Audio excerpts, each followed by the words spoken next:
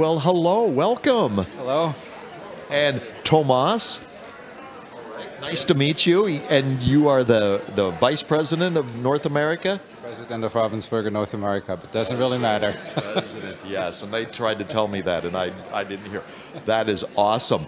So, what do you think of this event? Uh, this is the highlight of the year. It's totally awesome. it's really, really cool. First time I've ever been to like a jigsaw puzzle competition of that scale, and I think it's about as perfectly executed as you could execute it. Excellent. That's really the, cool. Uh, the, the co-founders, uh, you know, they had been at the Worlds and said they learned a few things at the Worlds, that maybe a few things that didn't go as great. They were able to kind of reverse engineer and make sure none of that happened, and they're putting on an excellent show. And thank you for Ravensburger for donating all of the Oh, you're puzzles. welcome. You're welcome. Our pleasure. Yeah. yeah. Yeah, our, our product development team has put, and the artist uh, himself has put a lot of effort into designing these. So like every single detail gets scrutinized and reworked and reworked and so on and so forth. It's really cool. So Nathaniel did come over and talk with us a little bit, so we got Yep. to talk to him about his puzzle and, and Yeah. how that was the first one in the competition. Right, Yeah. exactly. That, Yeah. was, that was great. And he said when he found out that his puzzle was going to be used, he said him and his wife had to come. Yeah. Because he's in Virginia, so he's on the other coast. Yeah. He goes, we had to we found out our puzzle was going to be used in the competition. And as the, as the teams got started, like we were actually chatting, like we were standing right out there. And you know, I, I asked him and I said, how long do you think it's going to take the first team to kind of complete the puzzle? He said, I think about an hour. I was way off. I said two. oh, you said two? Yeah. Okay. It was 56 minutes. and 56 some- minutes. And Yeah, some odd yeah. seconds. So Yeah. he was pretty right on Yeah, there. he was right on. Yeah. So do you puzzle yourself a lot? I do puzzle, not a lot, but I do puzzle myself. It's more my wife. I got a pretty demanding, she does too, pretty demanding job. So like there's never enough time to kind of puzzle, but I do. I'm the one that kind of loves to put in the last piece. 100%. I'm with you. Right. I'm pretty good at doing the last piece. You know what the best part is? Like when, when, when my wife puzzles, I usually get the, oh, well, there's something wrong with the puzzle. There's pieces missing. There's never enough. Right? It's your, yeah, you're, you didn't get all the pieces in my puzzle. and especially if it's a Ravensburger puzzle that we puzzle. Of course, you'll never know. Yeah. So you're based in Canada then? No, I'm actually based in New Hampshire. Oh, so, yeah, I am. Yeah, I'm originally from Germany, but uh, I and assume from the accent. But, yes, uh, from the uh, accent, absolutely, could never lose that. Uh, I've lived here in the U.S. for 24 years now. So I moved actually to uh, when we started up our own business. We used to work through distributors up until then, and then kind of we decided to start our own business. And um, I was in international sales before that happened, so I was kind of the guy at the office that knew everything about the market, and then there was nobody else. So um, you know, long story short, company said like, "Would you be interested in moving over here and help, helping to set this up?" And I was like, "Yeah, why not? Yeah, all right."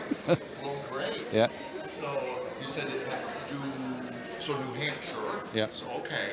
Um, you've been to, seen smaller competitions, but nothing this big then. Yeah, mostly local, mostly local competitions that we kind of you know do with retailers, like around where the office is located, that type of stuff. Nothing of that magnitude ever. And I suppose, because I've, I've commented to, to the ladies, and what a great relationship this is then to help get puzzling out to a larger community, and it helps you guys because it kind of ties, you know, connects you with people that already like puzzling, of course. Right, exactly. I mean, the, the thing is, look, I mean, we have seen, I mean, all puzzle companies during the pandemic saw this just inordinate spike in demand. I mean, a sevenfold increase in demand on a global scale is like really hard to process. One, two, like really hard to kind of handle manufacturing capacity wise. Nobody had to like, we just like everybody else, like at some point in time we ran out of inventory. But in the process, there were millions and millions of consumers that hadn't either puzzled in a while or had never puzzled, that type of thing, that kind of got into puzzling. So I think it's quite, from a business perspective, it's quite important that we kind of keep them at it, right? And keep them excited and kind of, you know, and, and keep reminding them about the benefits that this activity had for them when they were all locked up in their houses, so to speak, right? Yeah. yeah. And talking about kind of keeping excitement and things. Uh, um, Valerie was talking about trying to get puzzles that weren't out on the market yet, that no one had put together for the competition, so no one had an advantage.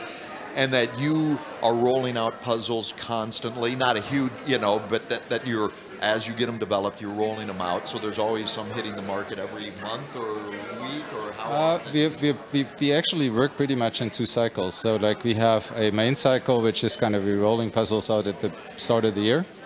Um, and then we roll an additional set of puzzles out, usually like during the summertime for the fall season, fall and Christmas. A lot of that focused on holiday puzzles and seasonal items, that type of thing. That's kind of the cycles that we have. Now for the consumer, that's our own internal cycles kind of as we're selling to retailers. Consumers might see that a little differently because not always are we able to keep inventory on track or like, you know, supply coming in like all at the same time when you're releasing puzzles. So it might very well be that we've sold, you know, that we're releasing 20 new images or something like that. And then out of the 20, 15 are in when we want them to be in the warehouse, and then there is a shipping. The rest might be backordered for a couple of weeks. So to the consumer, this might be looking very different as they go to the local shop purchasing puzzles. They might not see all the new ones right at the same time. Right. Right. So. Cool. Makes sense. That's pretty well. Any questions for Tom? I actually have a question about the pandemic. Was it the blue board? I heard rumors it was like the blue board was like the the raw material that everyone was having trouble sourcing. Is that correct?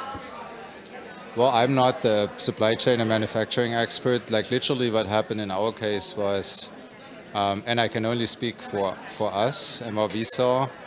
And I've been in with this company for all my life. So like my first job right out of college was with Ravensburger.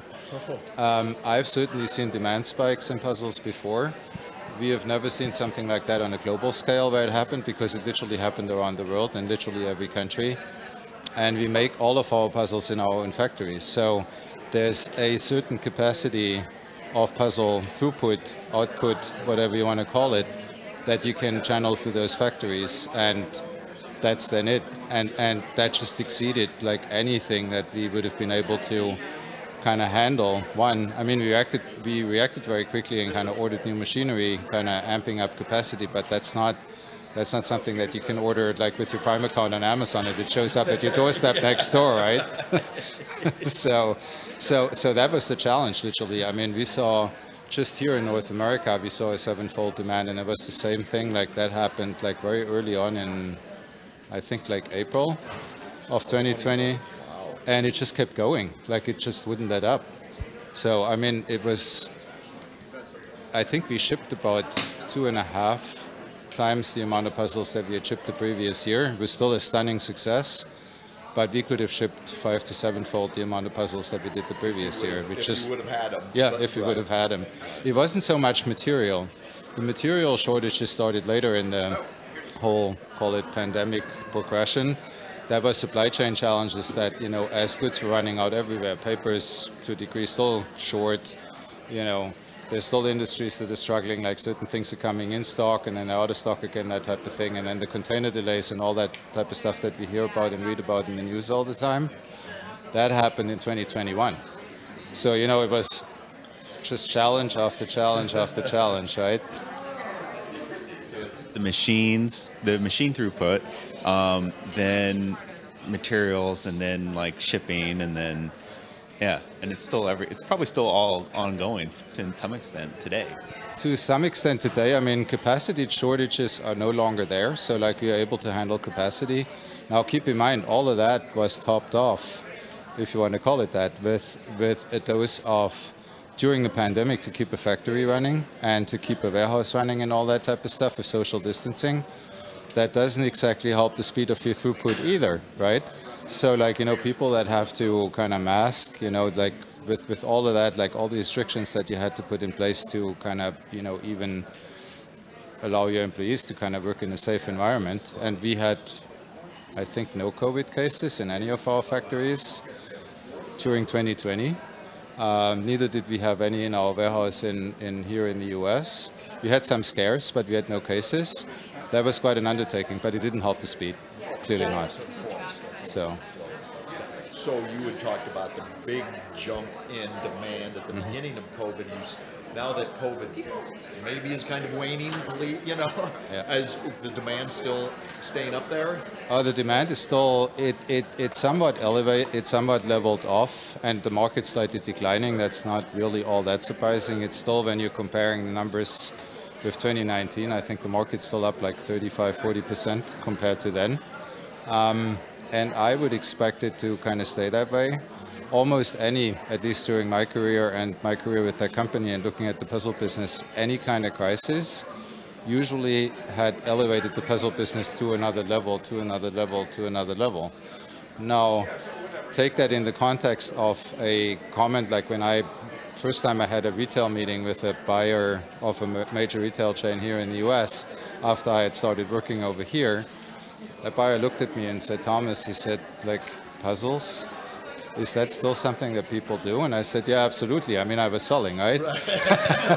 so, so, and then he said, but this is just a pile of cardboard, you know, cut up, you know, at that price point, all that type of stuff. He was like, I don't think he looked at me and he said, like, you know, 10 years from now, you won't have a job anymore. So I was like, well, I guess I got my work cut out then, right? and ever since I've been trying to prove that guy wrong. That's it. You know, always use your detractors as motivation. Good job, Tony. Good, good. Yeah, they said I couldn't do it. I'm going to prove to them that I can do it. Good for you. Yeah. So, uh, I, um, so you guys. So we've been talking about puzzles, but a, little bit ago, you're. I talked with some of the ladies, Valerie, Coit. Uh, you have other besides the puzzles then so you've uh, you're getting into other types of games Oh, and things have- or you maybe you've already been into been- we have been like like ever since we started over here with the Ravensburger business, we have been selling board games and jigsaw puzzles. That predominantly has been the business. And then over the years, we made a couple of acquisitions. So we also own the Brio brand and the Brio products. Some people might be familiar with that. That's the wooden trains. For the most part, this is kind of what people know. Um, we bought a company called ThinkFun, which is kind of brain teaser games. We own that business as well. So, you know, we handle a category that we call construction, which is kind of marble run, a marble run system, like I would call that 2.0. Um, you know, open-ended building, that type of thing. Really cool product too. So like, there's a lot of a lot of things that we didn't do back in the day when I started, that we're doing these days. Excellent. and i heard you're the number two gaming company in the world then behind hasbro is what a statistic that was mentioned Yeah, depending on what kind of statistics you're looking at. there's what's that there's the truth there's lies and the, or no there's there's lies there's damn lies and then there's statistics is what the i think what the old line is I always say 50% of statistics are made up. So this might be one too. but it sounds yeah. you know, the, the, the thing that kind of we, we like to regard ourselves in when we look at the board games business as well as the puzzle business is we are not the cheapest company out there and we don't want to be. Like, uh, we pride ourselves in kind of carefully curating the content that goes into the product, whether it's the art and the puzzles or the gameplay of the games that we kind of put to market. That takes a little bit more time, comes with extra effort, costs a little bit more, but it's things that kind of stay in households for a very long period of time. It's not something that you buy and throw out and so on and so forth. So from that perspective, you're probably the number one. Right, right. No, and I understand that Right, yeah. quality and Yep. everything. And I certainly appreciate that. You know, so I'm a personal trainer and I have a business coach and they say you're either the best or you're the cheapest and you don't want to compete in bargain basement prices. They say you either put together a really great product and you charge accordingly, or you just try to get the bottom feeders and go in for the lowest price, and then that's what you're competing for is at the bottom. And so, no, I totally agree with that. Everybody's commented on the quality of the Ravensburger puzzles, of course. So that That's what they're known for. I love actually. I think y'all are innovating a lot. Like when you said puzzles have elevated, I think they I 100% agree, and I think I hope you prove that guy wrong. so walk me through a little bit of your process now. Like, are you are you going after different artists? Are you going after different genres? How are you kind of like expanding puzzles? What we what we have actually it's been something that we that we've been looking at for a long period of time. So when you're looking at how most of the art that is being put on puzzles is being call it purchased, not so much developed. Is like you know there's shows, trade shows, kind of where you can go and art, art, art agencies kind of you know peddle their artists. Might not be the wrong wording here, but you know you, you just buy stuff off the rack, kind of that, that type of thing. You adjust for color, you might adjust some detail, you put that on a puzzle, you, you pay a licensing or royalty, and you're done. And the challenge with that process is that all our competitors, including ourselves, used to do the same thing. Like you would all go to the same trade shows. Depending on whether you were the first to walk into that booth or the last, you sometimes got the image that you wanted for your puzzle or you didn't. So we set out like a, a couple years ago, like we have a pretty robust analytics team in the meantime. And we started kind of doing deep dives into our Amazon reviews because the online platforms, in particular in Amazon, allows you to kind of really kind of scrape those and kind of figure out, so if you have a successful puzzle, what is it exactly that consumers or puzzlers like about that puzzle, right? And they will give you, that's the nice part about it, they will give you a lot of detail in those reviews. And then we said, how about we turn this process on its head and we kind of take what we get from those reviews and instead of buying art off the rack, we kind of talk to artists about like we brief every single detail in, in an image. So if there is something that's particularly working well or resonating with consumers, then let's try and figure out how we can kind of almost reverse engineer that to make that a successful image. And then on top of that, and that's kind of what I would call the secret sauce of a product development team and product managers that kind of work then together with the artists is you have to have a vision about the storytelling in an image. You know, to me, when you're puzzling, this is, I mean, you all know that. It's, it, it, it's this, a lot of people seem to be forgetting it, and it's a cheap way out, like if you're not doing it.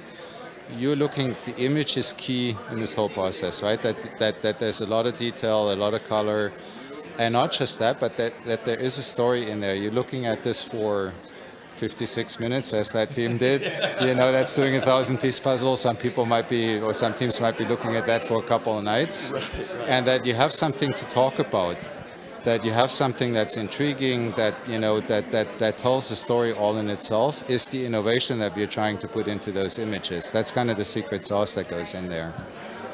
Because storytelling has become such a big part of everything, you know, and like advertising now or whatever. Yeah, it's not, here's what it is. It's like, here's the story behind, here's what it'll do.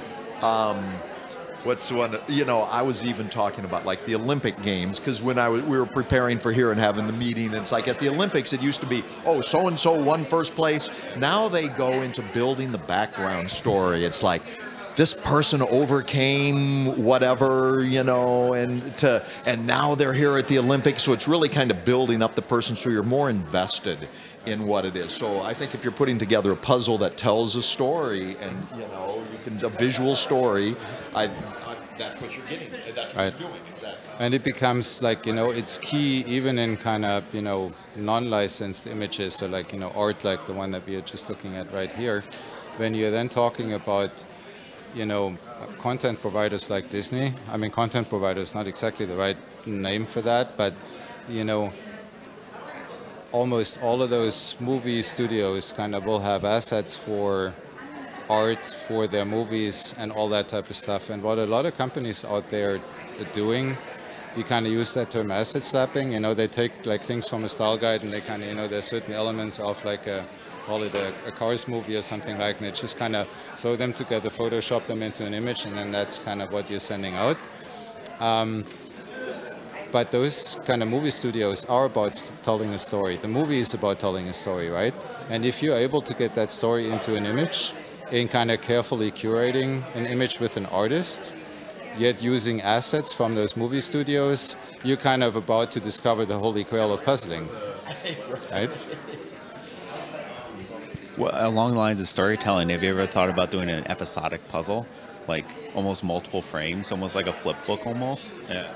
Yeah, we have like it's the it's that type of concept like where you know instead of a puzzle with closed edges, uh, you know, building something that you can add on to, you know, over time, you know, and it's kind of almost this whatever. Like this could take a couple different things, like living edge type of puzzle, exactly. Um, we have so far not been able to kind of figure this out in its detail. It's something that we've been mulling over for quite a while, but then there's always something else that kind of gets in the way. yeah, exactly. You know, but escape escape puzzles would be another thing of like storytelling, right? Like that type of concept, you know, where there's more to the puzzle than just the puzzling experience itself. It's still the key experience. You're putting a puzzle together. That's kind of what you're doing. But then there's riddles to solve, all that type of stuff. So, yeah, yeah. Great. Yeah, great questions. You're, you know, you you being a, you know, in the business, it's like you come up with some great angles for questions. You bet. Huge admirer. Yeah. great. Great. Um, let's see. There was something I thought of when, when that I thought when you were talking, and now I'm uh, not coming back to it right off the bat. But uh, I'll do a quick reset. We're three hours, 49 minutes plus into our five and a half hour competition for the four man teams. First did a 1,000 piece Ravensburger puzzle, and then another 1,000 piece. Actually, this was the second one. That was the first one there, and now at least the leaders that finished the first two are working on a 1,500 piece. Oh my! This team here, yeah, is uh, getting getting pretty far on the third puzzle here, and Yeah, the energy in the room is just amazing. I mean, it truly is. It's wild. And what amazes me the most is like, you know, I mean, it's fairly easy to kind of do this when you're caffeinated in the morning, right? Like when we got, when, when, when the teams got going. But they're like, you know, three and a half hours in and they're still going. Like, it's really, really impressive. And. Yes. And and the folks maybe listening to the live stream aren't hearing like ch- much cheering and stuff like that, but everybody's very intent. You know, it's like Well, puzzling is not a noisy business. exactly, exactly. They're, they're focusing. It's not race car driving. it's not F1. Yeah. Or NASCAR, yeah. roar of the engine. Yeah. exactly. That's right. so, uh, but yeah, folks are uh, definitely very, you know, hunched over their boards. Some are standing, you know, others are, are sitting.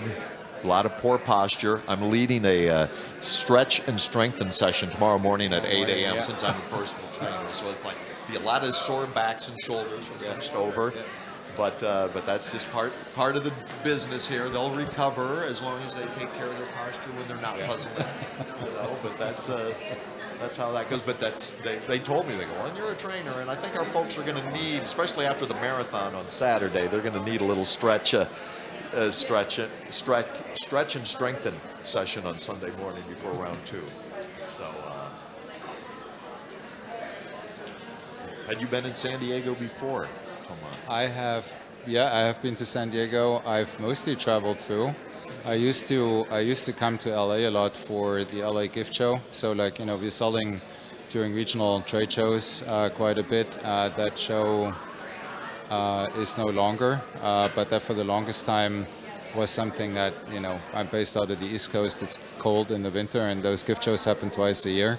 And I was the one in the company, like, you know, as we kind of decided who was going to do what gift show like Southern California kind of somehow I think like I didn't really understand. Nobody wanted to kind of travel to, so like that I, I kind of gave the team the options, and they all picked other ones that were kind of closer to home. And I was like, "You were sure you don't want to go to Southern California in January?" And they're like, "No, no, no." And I've always loved that trip.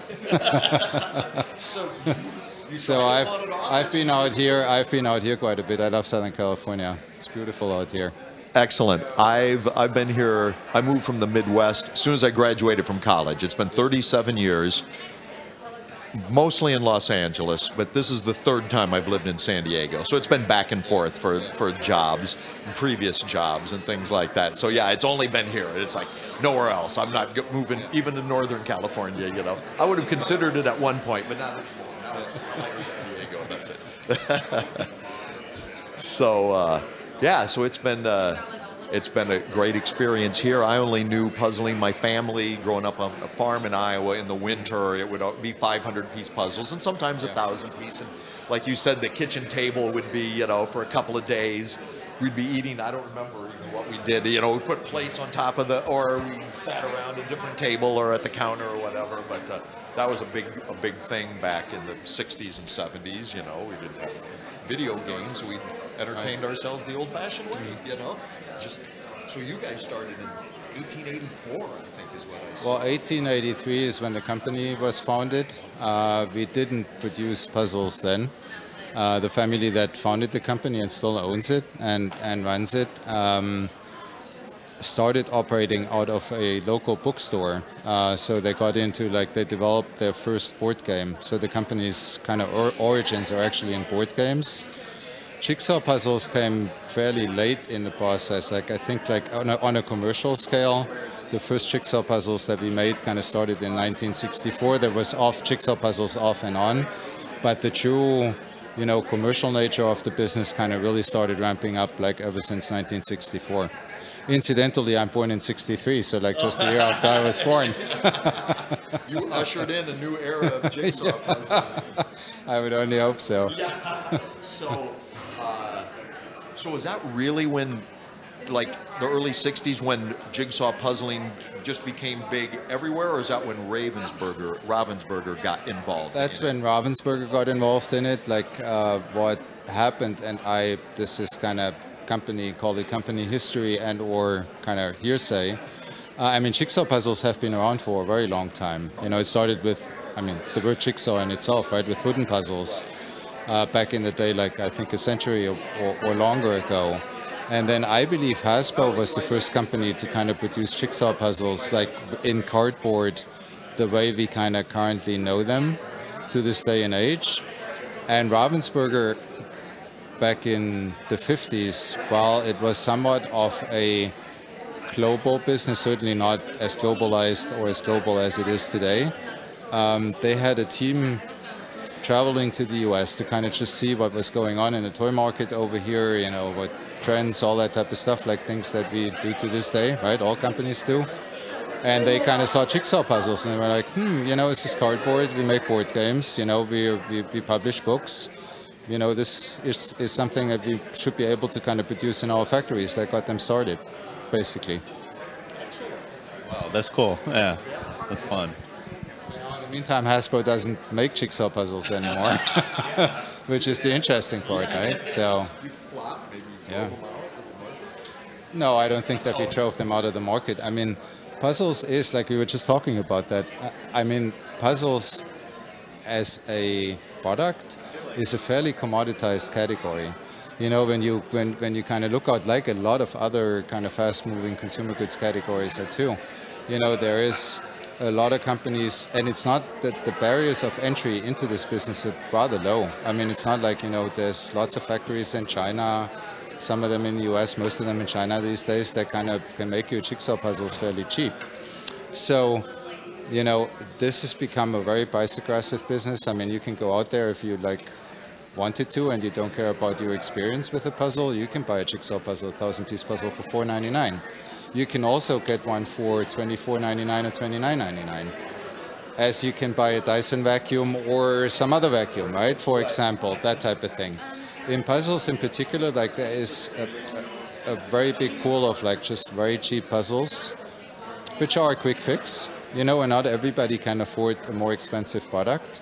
But um, that nature of the business, I think, and in particular as far as mass retail in this country, and not just in this country, is concerned, for some really large toy companies has made that type of business just not efficient enough anymore and not profitable enough anymore. So, you know, at some point in time, I think as a company, you have to make a decision about whether you want to be in the fast and cheap and low margin, or whether you kind of dive all the way in, you build a brand, you kind of develop it from the ground up. Yeah, yeah, and with a premium experience. Exactly. That's kind of the idea. Yeah. There's actually an interesting startup, a smaller puzzle company called Le Puzz. They're yellow with the black, and I think that they're hitting right on. Like they're like in your footsteps, basically, where they're trying to be more premium, and I think they're doing a great job. and they're 100% branded. Like everyone knows uh, Ravensburgers in the corner and everything, and it's very recognizable. And like Puzz is newer, but they're very recognizable as well too. So yeah, I, and I think they're doing it right. Arden Fable too. They have the um, the velvety touch. Yeah, Yeah, yeah. yeah. I remember what I was going to Yeah. ask you. How the cy- cyclical nature of some recreational, you know, things like if you look back, like the hula hoop. I remember the Duncan yo-yos. I mean, man, when I was in like fourth grade or fifth grade, every person had one, you know, and, and frisbees and kind of like that. So, do you ever see that kind of that cyclical? Of course, it's on a spike now, but is you see so. that? Yeah, very much so. I mean, there's certain play, call it play patterns, that just won't go away, and there's no need for them to go away. I mean, you know, there is something very, very essential about playing that kids do, you know, and, and, and certain patterns that kind of repeat are repeating themselves, emotions.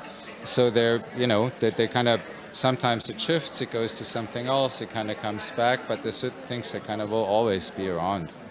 I bet you. There just there's no way of like being able to for a company to replace that experience with something else. Right? I mean, even collectibles. I mean, we talk a lot these days in the toy industry about like that trend of it's fading right now somewhat like of of collectible plush. Um, you know, I mean, I remember when I was a kid, you know, we would collect pins and we would collect this, and then there's trading cards and there's all kinds of things, right? The collecting aspect and the collecting nature of things is yet another one, right? Like, you know, sometimes it's harder, and sometimes the company figures out something really cool that makes that slightly different, but it's still the same basic concept. Right, right. And, you know, that's kind of just how that goes. Excellent. I think Valerie's going to have to come in with an update, but Thomas, it was awesome. Thank I you. didn't get your last name. Kaeppeler. Kaeppeler. Yep. Okay. You're the president of Ravensburger Correct. North America. Yep. You Correct. flew in from New Hampshire for the weekend. Yes, I did. We are very glad to have you here, and it was a And wonderful to, to talk here. to you. Thank you. Wonderful. yeah. Thank you so much. Puzzles are gorgeous. They, yeah, y'all are awesome. Thank you. All right. Enjoy Okay. the rest of the Yeah, weekend. Thank you. I will. All right.